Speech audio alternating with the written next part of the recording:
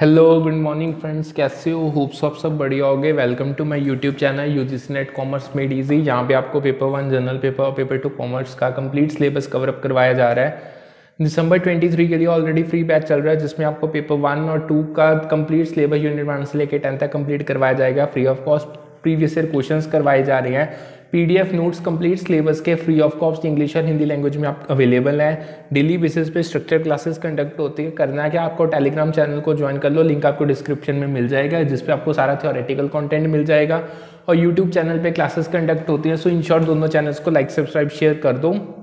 जैसे कि आपको पता, आज हमारे पेपर वन की क्लास है। आई हमने स्टार्ट की हुई है। That is the unit number eight information and communication technology so start करते हैं सेशन जहाँ से हमने लास्ट सेशन छोड़ा था।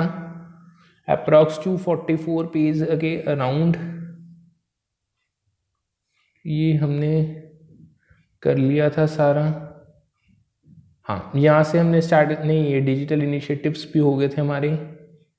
सो so बेसिकली हमने आईसीटी और गवर्नेंस करना है। ये तो हाँ यहाँ से हमने स्टार्ट करना है।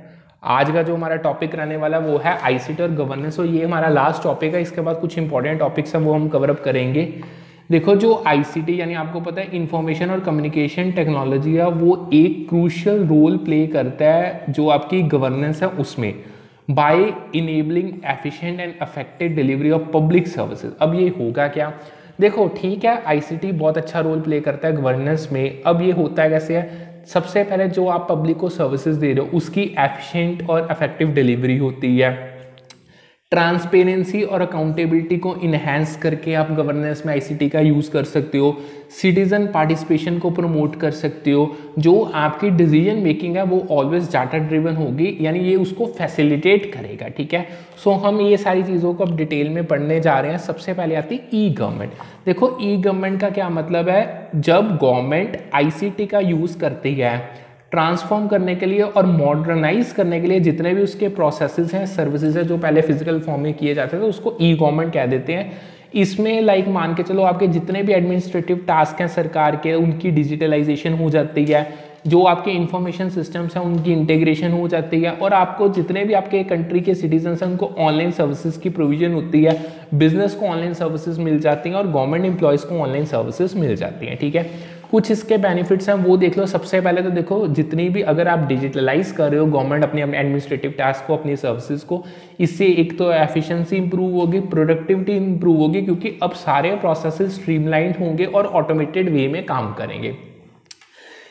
जो सर्विसेज़ की असेसिबिलिटी है, जो कन्वीनियंस है सिटीजन्स के लिए, वो इनहेंस हो जाएँगी, क्योंकि जब आप ऑनलाइन सर्विसेज़ प्रोवाइड करते हो, जैसे e tax filing licence application online accept करना इलेक्ट्रॉनिक परमिट्स देना तो ये चीज़ें कहीं ना कहीं जब ऑटोमेटिकली होती हैं ऑनलाइन होती हैं, बहुत अच्छा कन्वीनियंट हो जाता है कस्टमर्स के लिए इनको अवेल करना, यानी सिटीजन्स के लिए इनको अवेल करना।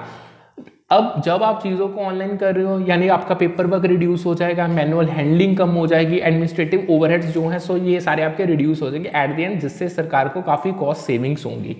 ट्रांसपेरेंसी बहुत बढ़ जाएगी अकाउंटेबिलिटी बहुत अच्छे से होगी, यानी हर, आपको पता चल जाएगा किस बंदे ने गलत काम किया है। अगर आप ऑनलाइन एक्सेस दे रहे हो गवर्नमेंट की इन्फॉर्मेशन का और सर्विसेज़ का टू टूवर्ड्स सिटीजन्स अगेन इसके कुछ चैलेंजेस हैं। सबसे पहले तो देखो जो डिजिटल डिवाइड एग्जिस्ट कर रहा है, उसको ब्रिज करना पड़ेगा। वो बहुत डिफ़िकल्ट काम है। आपको इंश्योर करना पड़ेगा कि सभी को इक्विटेबल एक्सेस मिल रहा है गवर्नमेंट की सर्विसेज़ का, हर एक सिटीजन के लिए। डाटा प्राइवेसी और सिक्योरिटी कंसर्न्स बहुत ज़्यादा हैं, उनको आपको मैनेज करना पड़ेगा, आपको जो आपके सिटीजन्स की सेंसिटिव इन्फॉर्मेशन है, उसको प्रोटेक्ट करना पड़ेगा। बहुत लोग ऑनलाइन जाना ही नहीं चाहते, यानी रिसिस्ट वो रिसिस्ट करेंगे टू चेंज को, और वो डिजिटल प्लेटफॉर्म्स की अडॉप्शन गवर्नमेंट एम्प्लॉयज़ के लिए बड़ी एक चैलेंजेस टास्क है क्योंकि वो उनको, ऐसे लगता है कि इनको चलाना ज़्यादा डिफ़िकल्ट है, ठीक है? सो so, जो टेक्निकल इंफ्रास्ट्रक्चर है आपका जो इंटरऑपरेबिलिटी इश्यूज़ है आपको इनको सबको एड्रेस करना पड़ेगा। देखो जो इंटरऑपरेबिलिटी इश्यूज़ है ये तब आते हैं जब आप इंटेग्रेट करते हो डाइवर्स गवर्नमेंट सिस्टम्स को और डाटाबेसिस को ठीक है? ये थे कुछ चैलेंजेस नेक्स्ट हमारे पास आती है ओपन गवर्नमेंट देखो, जो ओपन गवर्नमेंट इनिशिएटिव्स हैं, इनका मेन मुद्दा यही है कि ट्रांसपेरेंसी इंक्रीज की जाए सिटीजन्स की इंगेजमेंट को इंक्रीज किया जा सके कोलैबोरेशन उनकी लाई जानी चाहिए गवर्नेंस प्रोसेसेस में। आईसीटी इसमें बहुत क्रूशल रोल प्ले करता है, एक ओपन गवर्नमेंट प्रैक्टिसेस को इनेबल करने में। अब ये कैसे होगा, वो अलग अलग प्लेटफॉर्म्स प्रोवाइड करेगा इन्फॉर्मेशन शेयर करने के लिए। पब्लिक इनपुट को सॉलिसिट किया जाएगा, उन पब्लिक से जो इनपुट मिल रहा है फीडबैक मिले, उसको इंटेग्रेट किया जाएगा। कोलेबोरेशंस को इनक्रेज किया जाएगा गवर्नमेंट और सिटीजन्स के बीच में, ठीक है? कुछ इसके बेनिफिट्स हैं कॉमन बेनिफिट्स हैं। अगेन ट्रांसपेरेंसी इंक्रीज होगी जब ओपन गवर्नमेंट होगी अकाउंटेबिलिटी बढ़ेगी क्योंकि जब चीज़ें यानी जो गवर्नमेंट का डाटा बजट्स और एक्सपेंडिचर जब उनकी ऑनलाइन पब्लिकेशन होगी, हर चीज़ ट्रांसपेरेंट होगी ग्लास की तरह। सिटीजन्स पार्टिसिपेट करेंगे, उनकी इंगेजमेंट बढ़ेगी ऑनलाइन प्लेटफॉर्म के थ्रू वो अपनी फीडबैक प्रोवाइड करेंगे कंसल्टेशंस गवर्नमेंट करेगी अपने सिटीजन्स के साथ, पहले कोई फैसला लेने से पहले क्राउड सोर्सिंग की जाएगी। कोलैबोरेशंस होंगी, जो आपकी पब्लिक पॉलिसीज़ और सर्विसेज़ हैं, उनकी को क्रिएशन होगी through open data initiatives and hackathons कहने का मतलब क्या? सरकार कोई भी पॉलिसी बनाने से पहले पहले सिटीजन से उनकी फीडबैक लेगी, उनकी रिकमेंडेशन लेगी, उनकी सजेशन लेगी, फिर दोबारा से पॉलिसीज़ क्रिएट की जाएँगी। सरकार का और सिटीजन का आपस में जो ट्रस्ट है, वो इनहेंस होगा। गवर्नमेंट की जो लेजिटिमेसी है, वो इनहेंस होगी क्योंकि सिटीजन्स को अब डिसीज़न मेकिंग में इन्वॉल्व किया जा रहा है, ठीक है? कुछ इसके चैलेंजेस हैं, वो देख लो। सबसे पहले तो देखो आपको क्वालिटी एक्यूरेसी और रिलायबिलिटी जो ओपन गवर्नमेंट डाटा की है, उसकी इंश्योर करनी पड़ेगी। ये सबसे बड़ा चैलेंज है। देखो, अगर आप बिल्कुल सही कंटेंट दोगे, बिल्कुल डाटा एक्यूरेट दोगे तभी सिटीजन्स अपने आप को इन्वॉल्व करेंगे। जो डिजिटल डिवाइड एग्जिस्ट कर रहा है, उसको आपको ओवरकम करना पड़ेगा। आपको इंश्योर करना पड़ेगा कि जो सिटीजन इंगेजमेंट है, वो होनी चाहिए। मतलब सिटीजन को इन्वॉल्व किया जाना चाहिए, जैसे मर्ज़ी हो, ठीक है? कैपेसिटी बिल्डिंग या जो स्किल्स हैं अमंग गवर्नमेंट ऑफिशियल्स उनको आपको बहुत अच्छे से डेवलप करवाना पड़ेगा। अगर आप open government open government practices को अफेक्टिवली कंडक्ट करना चाहते हो, आपको ऐसे कंसर्न लाइक जो प्राइवेसी और सिक्योरिटी के साथ रिलेटेड है जो आपको गवर्नमेंट डाटा जो रिलीज़ करें उनको एड्रेस करना पड़ेगा, ठीक है? नेक्स्ट हमारे पास जो आती है, वो आती है डिजिटल डेमोक्रेसी देखो डिजिटल डेमोक्रेसी का क्या मतलब? जब आप आईसीटी का यूज़ करते हो ता जो आप इनेबल कर सको कि सिटीजन पार्टिसिपेट करें डेमोक्रेटिक प्रोसेस में, वो अपने व्यूज़ को एक्सप्रेस करें, वो इंगेज करें गवर्नमेंट के साथ और अपने रिप्रेजेंटेटिव्स को इलेक्ट करें। कहने का मतलब इलेक्शंस करो आईसीटी का यूज़ करके ऑनलाइन सब कुछ फ़िज़िकल वोट्स डालने के बजाय ऑनलाइन कुछ, सब कुछ करो। इसमें आप आईसीटी का यूज़ करो, उसको डिजिटल डेमोक्रेसी कहते हैं। इसमें सारी online voting systems e petition digital deliberation platforms और सोशल मीडिया एंगेजमेंट जितनी है, सब कुछ इसके अंदर आ जाएगा, ठीक है? अब इसके बेनिफिट्स क्या हैं? सबसे पहले तो देखो सिटीजन्स की जो पार्टिसिपेशन है वो बहुत इंक्रीज हो जाएगी। वो अपनी इंगेजमेंट को इंक्रीज करेंगे, अपने आप को डिसीज़न मेकिंग प्रोसेसेस में इन्वॉल्व करेंगे। अब ये खास करके ये चीज़ें उनके लिए फ़ायदेमंद है जो बैरियर्स को फेस करते हैं ट्रेडिशनल पार्टिसिपेशन मेथड्स में। यानी कुछ ऐसे फैक्टर्स होते हैं जो रिस्पॉन्सिबल होते हैं कि ट्रेडिशनली इलेक्शन के टाइम पे कई बंदे अपने आप को इन्वॉल्व कर ही नहीं पाते। ये चीज़ से आपको छुटकारा मिल जाएगा। आप इंफॉर्मेशन की जो आपके, जो इंफॉर्मेशन न्यूज़ और अपडेट्स आप देना चाहते हो, वो सोशल मीडिया के थ्रू प्लेटफॉर्म के थ्रू बहुत इजीली डिसमिनेट होंगे, बहुत जल्दी फैल जाएँगे। आपको रियल टाइम में फीडबैक मिलेगी ओपिनियन आप ट्रैक कर सकते हो ऑनलाइन सर्विस के थ्रू पोल्स के थ्रू और सेंटिमेंट एनालिसिस के थ्रू कि मतलब सिटीजन्स का रुझाव किस तरफ़ है। पॉलिटिकल इंफॉर्मेशन और रिसोर्सेज का अच्छा एक्सेस मिल जाता है। इससे इन्फॉर्म सिटीजनरी बनती है। मतलब लाइक सिटीजन्स आपके इन्फॉर्म्ड होंगे, हर बात उनको क्लियरली पता होगी। अब कुछ चैलेंजेस आते हैं। देखो, सबसे पहले तो वही सिक्योरिटी और इंटेग्रिटी जो डिजिटल वोटिंग सिस्टम्स के हैं, आपको उसको इंश्योर करना पड़ेगा ता जो आप फ्रॉड और मैनिपुलेशन को प्रिवेंट कर सको। जो डिजिटल डिवाइड है, उसको आपको एड्रेस करना पड़ेगा। आपको इंश्योर करना पड़ेगा कि डिजिटल डेमोक्रेसी इनिशिएटिव्स में इंक्लूसिविटी हो सबकी। जितनी आपकी वास्ट अमाउंट ऑफ़ इंफॉर्मेशन है, यानी दो अब गवर्नमेंट की साइड से या उसको मैनेज करना पड़ेगा, आपको जो ओपिनियंस जनरेट हो रहे हैं ऑनलाइन प्लेटफॉर्म्स के थ्रू उनको डेवलप करना पड़ेगा।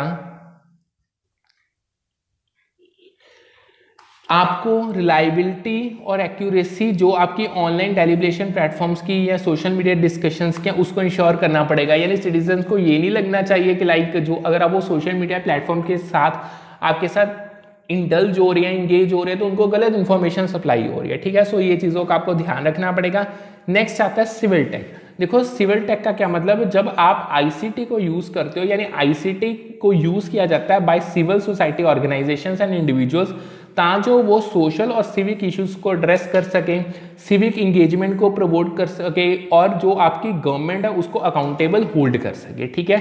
सो so, उसे सिविक टेक कहा जाता है। इसमें वो सारे प्लेटफॉर्म्स और टूल्स आ जाते हैं जो सिटीजन की रिपोर्टिंग के लिए रिक्वायर्ड है क्राउड मैपिंग के लिए सोशल एक्टिविज्म के लिए और कोलेबोरेटिव प्रॉब्लम सॉल्विंग के लिए यानी इकट्ठा रल के प्रॉब्लम्स के सोल्यूशंस फाइंड करने के जो जो चीज़ें रिक्वायर है वो सब कुछ इसमें आ जाता है।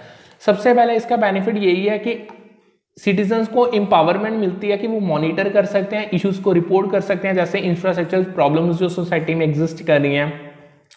जो इन्वायरमेंटल कंसर्न्स हैं या जो करप्शन एग्जिस्ट करी, उसको अच्छे से रिपोर्ट किया जा सकता है। कोलेबरेटिव प्रॉब्लम सॉल्विंग होगी, यानी इकट्ठे मिलकर प्रॉब्लम्स का सोल्यूशन फाइंड किया जाएगा ऑनलाइन प्लेटफॉर्म्स के थ्रू ये चीज़ ब्रिक इकट्ठा लाती है सिटीजन्स को एक्सपर्ट्स को और गवर्नमेंट ऑफिशियल को, यानी वो मिलके चीज़ों के सोल्यूशन निकाल सकते हैं। जो आपकी सोशल मूवमेंट्स और एक्टिविज्म है सोशल मीडिया के थ्रू या आपकी ऑनलाइन कम्युनिटी के थ्रू उनकी मोबिलाइजेशन होगी, उनकी अच्छे से कोऑर्डिनेशन होगी, ठीक है? यानी इवन आप अपनी जो अकाउंटेबिलिटी और ट्रांसपेरेंसी है, उसको स्ट्रेंथन कर सकते हो सिटीजन लेड इनिशिएटिव्स और डाटा ड्रिवन एडवोकेसी के थ्रू अब अगेन इसके कुछ चैलेंजेस है। सबसे पहले तो देखो एक्यूरेसी और क्रेडिबिलिटी जो भी सिटीजन जनरेटेड डाटा और रिपोर्ट्स है, उसकी इंश्योर करना बड़ा ज़रूरी है। आपको सिविक टेक इनिशिएटिव्स जो इंडिविजुअल प्रोजेक्ट से भी आगे जाते हैं, उनको सस्टेन करना पड़ेगा इंश्योर करना पड़ेगा कि उनका लॉन्ग टर्म इम्पैक्ट सिटीजन्स पे पड़े। ट्रस्ट को बिल्ड करना पड़ेगा। कोलेबोरेशन लानी पड़ेगी। सिविल सोसाइटी ऑर्गेनाइजेशन सिटीजन्स और गवर्नमेंट एजेंसीज के बीच में। आपको सारे वो कंसर्न्स जो प्राइवेसी और सिक्योरिटी जो सिविक टेक प्लेटफॉर्म्स में इन्वॉल्व हैं या एक्टिविटीज़ उनको एड्रेस करना पड़ेगा ठीक है? सो so, नेक्स्ट कुछ आता है नेक्स्ट आता है आपके जो डाटा ड्रिवन डिसीज़न मेकिंग देखो आईसीटी कहीं ना कहीं गवर्नमेंट्स को इनेबल करता है कि वो अच्छे से कलेक्ट कर सकते हैं एनालाइज कर सकते हैं और विजुलाइज कर सकते हैं डाटा को ताकि वो एविडेंस बेस्ड डिसीज़न मेकिंग करे। यानी जितने भी सरकार फैसले लेगी वो डाटा ड्रिवन होंगे डाटा उसका एविडेंस होगा। सो so, जब आप आपके पास पावर हो, जब यानी आप हार्नेस कर लेते हो ना पावर ऑफ़ बिग डाटा देखो बिग डाटा बहुत ट्रेंड्स इनसाइट्स आपको देता है एनालिटिक्स आपको पता चल जाते हैं, आपके पास डाटा विजुअलाइजेशन टूल्स हैं सो इन सब का यूज़ करके गवर्नमेंट्स को बहुत सारे इनसाइट्स मिलते हैं, उनको पैटर्न्स पता चलते हैं, वो अपनी पॉलिसी आउटकम्स को अच्छे से इवेल्युएट कर सकते हैं, उनको ये पता चल जाएगा, भाई कौन सी चीज़ ठीक है, कौन सी चीज़ गलत है। इसके बेनिफिट्स एफिशिएंसी और अफेक्टिवनेस पॉलिसी डेवलपमेंट की और इम्प्लीमेंटेशन की इम्प्रूव हो जाएगी थ्रू डाटा ड्रिवन इनसाइट्स यानी जितने डाटा ड्रिवन इनसाइट्स होंगे, यानी जो आपकी इन्फॉर्मेशन आपकी एविडेंस सपोर्ट करेंगे, उससे आपकी एफिशिएंसी बहुत इंक्रीज हो जाएगी। टारगेटेड और एविडेंस बेस्ड रिसोर्स एलोकेशन होगी सर्विस डिलीवरी होगी। मतलब आपको इन्फॉर्मेशन है, आपको पता है आपके रिसोर्सेज कहाँ पे अच्छे हैं, कहाँ पे आपने इनको यूज़ करना है तो इससे आप बहुत अच्छी सर्विस डिलीवरी दे पाओगे। जो आपके इमर्जिंग ट्रेंड्स हैं या रिस्क राइज होने वाले हैं या जो चैलेंजेस आप डाटा एनालिटिक्स के थ्रू जल्दी आइडेंटिफाई कर सकते हो। आपकी जो मॉनिटरिंग है, उसको इन्हेंस किया जा सकता है। आप इवेल्युएशन कर सकते हो गवर्नमेंट प्रोग्राम्स की और पॉलिसीज़ की, ठीक है? अगेन इसके कुछ चैलेंजेस आते हैं। देखो, जो डाटा क्वालिटी और एक्यूरेसी है, या आप कह लो इंटर ऑपरेबिलिटी चैलेंजेस हैं, जो जब आप इंटेग्रेट करते हो डाटा को फ्रॉम डाइवर्स सोर्सेज और सिस्टम उसको आपको एड्रेस करना पड़ेगा। जब आप कैपेसिटी या स्किल्स जो मतलब आपको कैपेसिटी और स्किल्स को बिल्ड करना पड़ेगा गवर्नमेंट ऑफिशियल के बीच जो जिन्होंने डाटा एनालिसिस और इंटरप्रिटेशंस करनी है। आपको प्राइवेसी और सिक्योरिटी इंश्योर करनी पड़ेगी क्योंकि आप सिटीजन के रिलेटेड डाटा को कलेक्ट कर रहे हो उसको एनालाइज कर रहे हो। सो so, आपको जितने भी कंसर्न्स रिलेटेड टू बायस और fairness data driven decision making algorithms में उन सभी को आपको एड्रेस करना पड़ेगा ठीक है? नेक्स्ट हमारे पास आती है स्मार्ट सिटी देखो जो स्मार्ट सिटी इनिशिएटिव्स हैं, ये आईसीटी का यूज़ करते हैं डाटा का यूज़ करते हैं ताकि क्वालिटी ऑफ़ लाइफ अपने सिटीजन्स के लिए इन्हेंस की जा सके। जैसे आप अपनी अर्बन सर्विसेज़ इंप्रूव कर सको सस्टेनेबल डेवलपमेंट को प्रमोट कर सको। यानी जो आपकी स्मार्ट सिटी टेक्नोलॉजीज़ है, इसमें आपके sensors internet of things devices data analytics connectivity infrastructure सब कुछ इसके अंदर आ जाता है, ठीक है? सो so, अगर आपको मैं इसके बेनिफिट्स बताऊँ तो सबसे पहले जितनी भी आपकी अर्बन सर्विसेज़ हैं वो एफिशिएंटली और सस्टेनेबली की जा सकती हैं। जैसे आपकी स्मार्ट ट्रांसपोर्टेशन होंगी एनर्जी मैनेजमेंट अच्छे से होगी वेस्ट वेस्ट मैनेजमेंट सिस्टम्स बहुत अच्छे से होंगे। आप अपनी क्वालिटी ऑफ़ लाइफ को इंप्रूव कर सकते हो सिटीजन सेंट्रिक सर्विसेज़ के थ्रू जैसे smart parking facilities public wifi और डिजिटल हेल्थ केयर आपकी जो अर्बन प्लानिंग है, जो रिसोर्स एलोकेशन है, वो बढ़िया इन्हेंस हो जाएगा, क्योंकि आपके पास अब रियल टाइम डाटा और एनालिटिक्स अवेलेबल होंगे इकोनॉमिक ग्रोथ और इन्वेशन होगी through development of digital ecosystem ठीक है? बट इसमें कुछ चैलेंजेस भी आपको उनको एड्रेस करना पड़ेगा। आपको डाटा प्राइवेसी और सिक्योरिटी जो आपके स्मार्ट सिटी इंफ्रास्ट्रक्चर और सिस्टम्स यूज़ करने उसकी इंश्योर करना पड़ेगा। कोलैबोरेशन और कोऑर्डिनेशन मल्टीपल स्टेक होल्डर्स के बीच में ज़रूरी है लाइक गवर्नमेंट एजेंसीज होगी प्राइवेट सेक्टर पार्टनर्स और सिटीजन क्योंकि कोई भी अकेला बंदा सब कुछ कैरी आउट नहीं कर सकता। जितने भी आपके कंसर्न्स है रिलेटेड टू इक्विटी या इंक्लूसिविटी स्मार्ट सिटी इनिशिएटिव्स में, आपको इनको एड्रेस करना पड़ेगा ताकि आप अवॉइड कर पाओ एक्सरबेटिंग एग्जिस्टिंग इनक्वालिटी यानी जितनी इनक्वालिटीज एग्जिस्ट करें, उनको खत्म किया जा सके। यानी आपको बैलेंस करना पड़ेगा डाटा का यूज़ और टेक्नोलॉजी सिटीजन प्राइवेसी और कॉन्सेंट के साथ, ठीक है? नेक्स्ट हमारे पास आता है cyber security and data privacy देखो जैसे जैसे गवर्नमेंट इंक्रीजिंगली मतलब जैसे जैसे उनका रुझाव आईसीटी पे, यानी उनकी जो रिलायंस है, वो इंक्रीज जा रही है गवर्नेंस प्रोसेसेस के लिए, आपको तब साइबर सिक्योरिटी और डाटा प्राइवेसी को एड्रेस करना इंश्योर करना बड़ा क्रूशियल है। देखो गवर्नमेंट्स की बहुत ज़रूरत है, उनको इन्वेस्ट करना पड़ेगा। रॉबोट साइबर सिक्योरिटी मेजर्स में साइबर सिक्योरिटी कैपेसिटीज बिल्ड करनी पड़ेंगी, ऐसी पॉलिसीज़ और रेगुलेशन डेवलप करनी पड़ेगी ताकि आपका जो सिटीजन का डाटा है, वो प्रोटेक्टेड रहे। अब इसके कुछ बेनिफिट्स हैं, वो देख लेते हैं। सबसे पहले तो जो भी आपकी सिटीजन सेंसिटिव इन्फॉर्मेशन है, यानी सेंसिटिव सिटीजन के रिलेटेड इन्फॉर्मेशन उसकी प्रोटेक्शन और ऐसे गवर्नमेंट सिस्टम जो साइबर थ्रेट से बचे रहे, वो डेवलप करने पड़ेंगे। यानी मतलब बेनिफिट है, ये डेवलप खुद ब खुद हो जाते हैं। डाटा प्राइवेसी और कंप्लाइंस विद जितने भी आपकी प्राइवेसी रेगुलेशन है, उनके साथ अच्छा होगा। ट्रस्ट और कॉन्फिडेंस गवर्नमेंट सर्विसेज़ और ऑनलाइन ट्रांजेक्शन में बना रहेगा। कोलैबोरेशन और इन्फॉर्मेशन शेयरिंग गवर्नमेंट्स के बीच में अच्छी होगी, जो सारे आपके साइबर सिक्योरिटी चैलेंजेस को एड्रेस करेंगे। अब इसमें कुछ चैलेंजेस आते हैं, देखो जैसे जैसे आपके जो साइबर थ्रेट्स हैं, अब वो रैपिडली इवॉल्व हो रहे हैं। सो बहुत नीड है कि आपको कंटिन्यूली अडेप्ट करनी पड़ेंगी सिक्योरिटी मेजर्स आपको साइबर सिक्योरिटी कैपेसिटीज बिल्ड करनी पड़ेंगी एक्सपर्टाइज लाना पड़ेगा गवर्नमेंट पर्सनल्स के बीच में, आपको बैलेंस करना पड़ेगा सिक्योरिटी मेजर्स के साथ with user experience and ease of access के साथ, ठीक है? आप अच्छे से नेविगेट करोगे जो complexities international cyber security cooperation information sharing में एग्जिस्ट कर रही है, ठीक है? मतलब जब आप साइबर सिक्योरिटी को यूज़ कर रहे हो तो बहुत सारे बंदे इन्वॉल्व होंगे गवर्नमेंट पर्सनल्स होंगे सिटीजन होंगे सो उसको नेविगेट करना, उसकी कॉम्प्लेक्सिटीज को आपको ईजी से सॉल्व करना पड़ेगा, ठीक है? सो अगर मैं आपको कंक्लूजन में बताऊँ तो जो आईसीटी का बहुत ट्रांसफॉर्मेटिव रोल प्ले कर रहा है गवर्नेंस में, क्योंकि वो इनेबल कर रहा है ई गवर्नमेंट सर्विसेज़ ट्रांसपेरेंसी को फॉस्टर किया जा रहा है। सिटीजन पार्टिसिपेशन इनकरेज की जाती है। डाटा ड्रिवन डिसीज़न मेकिंग को फैसिलेट किया जाता है। प्रमोट किया जा रहा है इनोवेशन पब्लिक एडमिनिस्ट्रेशन में। सो so, इसके रिलेटेड कुछ चैलेंजेस भी हैं बेनिफिट्स भी हैं वो हम सारे हमने देखे हैं। सो so, आप उनको एक बार कर लेना। अब यहाँ से हम इंपॉर्टेंट टॉपिक स्टार्ट करते हैं कुछ। देखो, एक क्वेश्चन आया था जो कह रहे थे, वो short term memory encompasses encoding and short term storage and manipulation ठीक है? ये लाइन मैंने आपको पढ़ के बताती, देख, वो क्या कह रहे थे, यानी जो आपकी शॉर्ट टर्म मेमोरी है, उसमें इनकोडिंग भी आ जाती है एंड शॉर्ट टर्म जो आपकी स्टोरेज और मैनिपुलेशन वो भी आ जाती। है देखो, जो शॉर्ट टर्म मेमोरी होती है ना, ये टेम्परेरी स्टोरेज होती है प्रोसेस टेम्परेरी स्टोरेज कह लो और प्रोसेसिंग कह लो इन्फॉर्मेशन की। इसमें आप इनकोडिंग करते हो नई इन्फॉर्मेशन की और उसको होल्ड करते हो, कुछ टाइम पीरियड के लिए ब्रीफ ड्यूरेशन के लिए, जब तक उसकी मैनिपुलेशन या प्रोसेसिंग टास्क की हो रही है उस इंफॉर्मेशन के बेसिस पे, ठीक है? अब शॉर्ट टर्म मेमोरी की ना लिमिटेड कैपेसिटी होती है। देखो, जो शॉर्ट टर्म मेमोरी है, उसकी लिमिटेड कैपेसिटी होगी, इसका मतलब क्या हुआ कि बहुत कम अमाउंट की इंफॉर्मेशन वो शॉर्ट पीरियड के लिए स्टोर कर सकती है। देखो exact capacity short term memory की वेरी करती है बट अगर मैं आपको जनरली बताऊँ तो ये about seven plus minus two items के नियर अबाउट होती है, ठीक है? अब कुछ परमानेंट स्टोरेज डिवाइसेस देख लो। देखो जो कुछ परमानेंट स्टोरेज डिवाइसेस जो पेपर में बहुत बार पूछे गए उनमें पेन ड्राइव हार्ड ड्राइव और कॉम्पैक्ट डिस्क आ जाती है। अगर तो आपका एक ना पेपर में क्वेश्चन आया था, वो कहते थे करेक्ट ऑर्डर ऑफ़ डेवलपमेंट कुछ स्टोरेज डिवाइसेस का सेंडिंग ऑर्डर में आपको बताना है, और वो डिवाइसेस उन्होंने दिए थे। तो जो उसका करेक्ट ऑर्डर था, सबसे पहले मैग्नेटिक टेप बनी थी, फिर फ्लॉपी डिस्क आई थी, फिर सीडी रोम आई थी, और एट दी एंड डीवीडी आई थी। अब जो आपकी मैग्नेटिक टेप है इसे इनिशियली यूज़ किया जाता था डाटा स्टोरेज और बैकअप के लिए। फिर फ्लॉपी डिस्क का जो पोर्टेबल स्टोरेज मीडियम थे, जिनकी लिमिटेड कैपेसिटी होती है जो सी डी रूम्स हैं, ये आपके ऑप्टिकल स्टोरेज मीडियम थे, जिनकी कैपेसिटी हाई थी फ्लॉपी डिस्क के कंपैरिजन में। और जो डीवीडीज हैं अगेन ये ऑप्टिकल स्टोरेज मीडियम थे। इवन इनकी, उससे भी जो आपकी सी डी रूम्स है, उससे भी ज़्यादा हायर कैपेसिटी थी। अब अगर आपको कोई पूछ ले कि जो करेक्ट सीक्वेंस है जो आपके अभी मैंने आपको स्टोरेज डिवाइसेस बताए हैं डिसेंडिंग ऑर्डर में तो इसको रिवर्स कर देना। इन, इन अब ये जो डिसेंडिंग ऑर्डर है इनकी इमरजेंस क्या है? लाइक सब, सबसे रिसेंट डीवीडी उससे पहले सीडी रोम फिर फ्लॉपी डिस्क और फिर मैग्नेटिक टेप ठीक है? यानी दोनों तरीके से ये क्वेश्चन बहुत बार पूछा गया है। समझ के जो डीवीडी थी वो इंट्रोड्यूस की गई थी सीडी रोम के बाद में फिर उसके बाद फ्लॉपी डिस्क आई फिर मैग्नेटिक टेप और सबसे ओल्डेस्ट क्या था?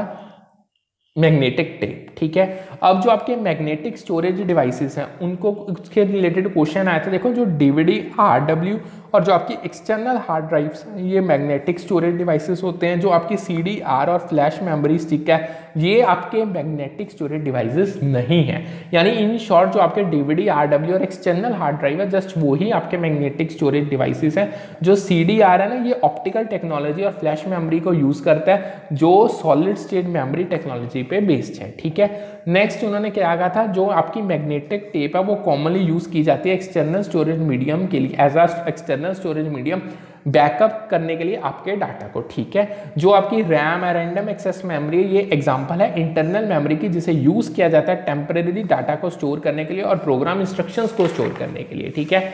अब इसके रिगार्डिंग थोड़ी और डिटेल देख लेते हैं।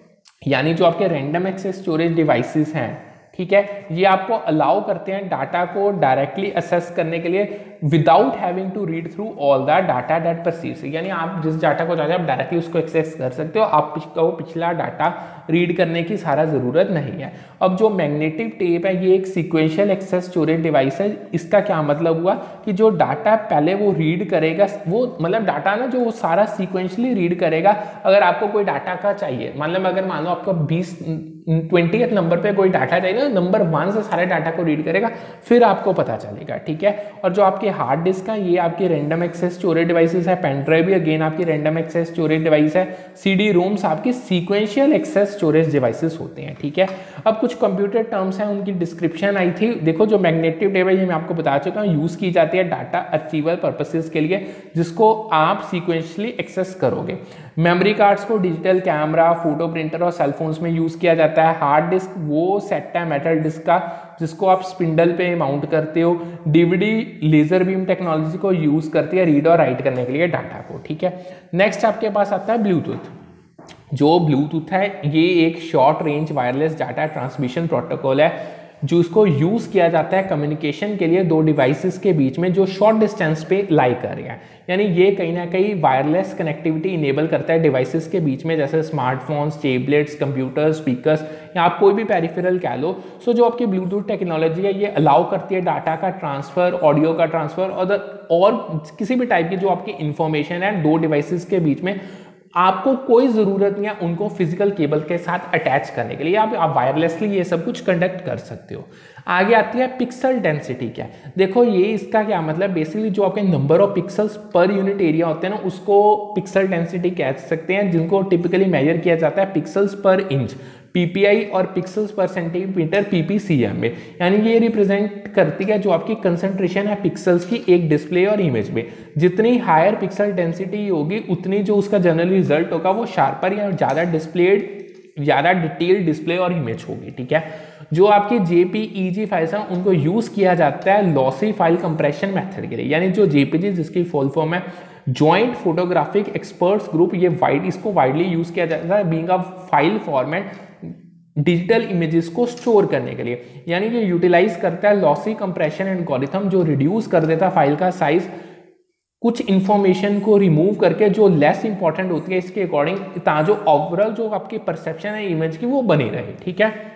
इवन जेपीजी को यूज़ किया जाता है फोटोग्राफ्स को स्टोर करने के लिए एज अ रिड्यूस्ड फ़ाइल सही देखो, सबसे एक प्राइमरी पर्पज जो जेपीजी फ़ाइल फॉर्मेट का यही है कि फोटोग्राफ्स को स्टोर करना और कंटिन्यूस जो ओन इमेजेस को स्टोर करना और साथ ही साथ एक एक्सेप्टेबल इमेज क्वालिटी को मेंटेन करना विद रिड्यूस्ड फ़ाइल साइज़ जो आपकी लॉसी कंप्रेशन है, उसको एम्प्लॉय किया जाता है जेपीजी के द्वारा, जो अलाउ करती है सिग्निफिकेंट फ़ाइल साइज़ रिडक्शन अगर हम कंपेयर करें to lossless lossless compression methods ठीक है? अब नेक्स्ट आते हैं उन्होंने एक क्वेश्चन आया था, जो मल्टीमीडिया फाइल्स हैं, वो can contain various types of content वो कंटेंट देख लो। देखो, जो टेक्स्ट है मल्टीमीडिया फाइल्स जो होती है ना, उसमें टेक्सचुअल इन्फॉर्मेशन भी होती है। मल्टीमीडिया फाइल्स में इमेजेस फोटोग्राफ्स भी होती हैं वीडियोस भी होती हैं वीडियो कंटेंट हो गया इवन ऑडियो कंटेंट भी होता है। इसी कारण उसको मल्टीमीडिया कहा जाता है। अब जो कुछ डिफरेंट टाइप्स ऑफ़ सॉफ्टवेयर अगर मैं उनके एग्ज़ाम्पल बताऊँ देखो, जो वर्ड प्रोसेसर है, उसकी बेस्ट एग्ज़ाम्पल ओपन ऑफ़िस और जो डाटा है, उसकी एग्ज़ाम्पल ओरेकल है, ठीक है? यानी अब जो डाटा बेस होता है ना ये कलेक्शन होती है जितने भी आपके लॉजिकली रिलेटेड डाटा है उसकी। सो so, एज मैंने आपको बता ही दिया कि जो डाटा बेस है वो ऑर्गेनाइज कलेक्शन है डाटा की एक स्ट्रक्चर्ड और interconnected based predefined relationships और रूल्स में।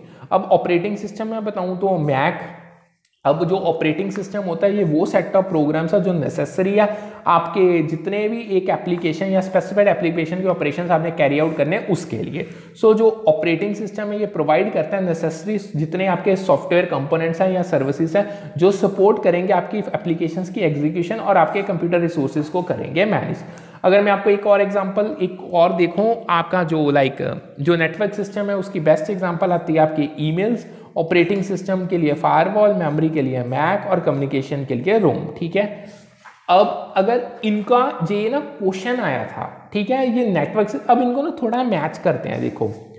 इनको पढ़ते हैं। देखो, जो नेटवर्क सिस्टम होता है ना, ये कलेक्शन है कंप्यूटर्स की और यहाँ और डिवाइसेस कह लो, जो एक दूसरे के साथ कनेक्टेड है। और ये रिसोर्सेज को शेयर करते हैं। जो ईमेल है, वो एक तरीके से तरीका है जिसके थ्रू आप मैसेजेस को सेंड और रिसीव करते हो नेटवर्क के ऊपर। जो फायरवॉल है, वो एक सॉफ्टवेयर प्रोग्राम जो आपका कंप्यूटर को प्रोटेक्ट करता है अनऑथराइज एक्सेस से। जो मैक है, ये ऐसा टाइप है ऑपरेटिंग सिस्टम की जिसको एप्पल कंप्यूटर्स पे यूज़ किया जाता है। जो रोम है, ये एक ऐसी टाइप है मेमोरी की जिसको यूज़ किया जाता है ऑपरेटिंग सिस्टम और इसके अलावा जितना इंपॉर्टेंट डाटा है उसको स्टोर करने के लिए। ठीक है? ये मैंने आपको बता दिया। अब आगे आता है एक और topic R F I D M I C R O M R O C R और बारकोड देखो, जो आर एफ़ आई डी यानी रेडियो फ्रीक्वेंसी आइडेंटिफिकेशन सिस्टम्स है, ये रेडियो वेव्स को यूज़ करते हैं इन्फॉर्मेशन को रीड करने के लिए कैप्चर करने के लिए। जो M I C R magnetic ink character recognition characters हैं, ये बहुत ईजी है फॉर्ज करने के लिए। जिनको रिटर्न ओवर नहीं किया जा सकता, ठीक है? जो ओ है ऑप्टिकल मार्क रिकोगशन ये मार्क्स आपके रीड करते हैं, जो एक पेंसिल भी है या पेन से लिखे होते हैं आपने एक स्पेसिफिक प्लेसेस के लिए, ठीक है? मतलब जो आप मतलब ओ एम आर शीट आपके होते हैं ना पेपर में लाइक आप सर्कल्स मार्क करते हो तो जो आप आंसर करते हो वो उसको रिकॉग्नाइज कर लेता है। जो ओ सी आर है इसे ऑप्टिबल करेक्टर रिकॉग्निशन कहते हैं ये टेक्स्ट को स्कैन करता है फिर उसको कंप्यूटर रीडेबल फॉर्मेट में कन्वर्ट कर देता है। फिर आते हैं बार जिनको फॉर्ज किया जा सकता है जिनको डैमेज भी किया जा सकता है ठीक है? अगर मैं आपको कुछ एडिशनल नोट्स इन, इनके बारे में बताऊँ तो जो आपके नेटवर्क सिस्टम्स हैं इनको आप यूज़ कर सकते हो बहुत अलग अलग पर्पसेज के लिए जैसे file sharing printing communication so ये वायर्ड भी हो सकते हैं वायरलेस भी हो सकते हैं। ईमेल बहुत कन्वीनियंट वे है मैसेजेस को सेंड करने के लिए दूसरे बंदों को। इसको यूज़ किया जाता है पर्सनल और बिज़नेस पर्पसेस दोनों के लिए।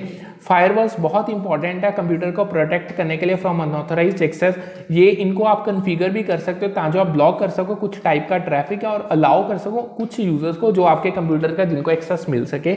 मैक बहुत पॉपुलर ऑपरेटिंग सिस्टम है, जिसको जाना ही इसी कारण जाता है क्योंकि बहुत ईजी टू यूज़ है, इसकी स्टेबिलिटी बहुत अच्छी है। मिलियंस ऑफ़ पीपल इसको अराउंड द वर्ल्ड यूज़ कर रहे हैं, जो रोम है, ये एक ऐसी टाइप है मेमोरी की जिसको यूज़ किया जाता है ऑपरेटिंग सिस्टम को स्टोर करने के लिए और यहाँ जितना इंपॉर्टेंट डाटा है उसको। ये बेसिकली रीड ओनली होता है आप इसको राइट नहीं कर सकते। इसका मतलब क्या है? इसको चेंज नहीं किया जा सकता रेज नहीं किया जा सकता ठीक है? सो नेक्स्ट आती हैं यूटिलिटीज जो उसकी एग्जांपल एंटीवायरस है ठीक है? सो so, यहाँ पे हम करते हैं आज का सेशन कंप्लीट अगर कोई डाउट हुआ तो आप पूछ सकते हो। रेस्ट इसकी पीडीएफ इंग्लिश और हिंदी लैंग्वेज में आपको टेलीग्राम चैनल पे मिल जाएगी। इन शॉर्ट दोनों चैनल्स को लाइक सब्सक्राइब शेयर कर दो। सो so, करते हैं आज का सेशन माइंड अप कल मिलते हैं with a new session with a new set of topics good afternoon have a nice day ahead